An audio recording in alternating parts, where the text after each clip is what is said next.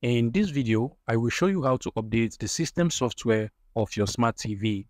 Over here, I am using the Android Smart TV and what you just want to go ahead and do is to scroll to the settings icon at the top right corner of the TV. So just go to the top and then scroll horizontally until you get to this settings icon.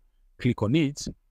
And then you want to scroll down to device preferences on your TV. So just scroll down until you get to device preferences and just at the top you're going to see the about option. So just go ahead and click on about and then you're going to see the system update so you just want to go ahead and click on it. And of course you want to make sure that your tv is actually connected to the internet for this to be able to work. And you can see that my tv is actually up to date over here.